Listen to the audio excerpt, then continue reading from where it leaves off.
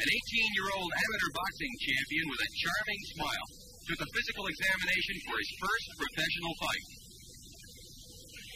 That evening, Tunney Hunsaker was to go into the record book as the first professional opponent of the split boxing Cassius Clay.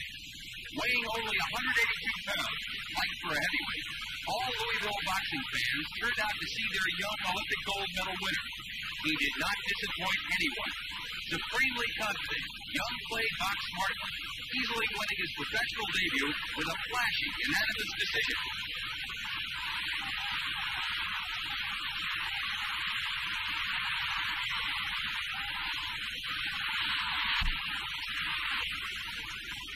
The first professional victory of the confident young Cassius Clay.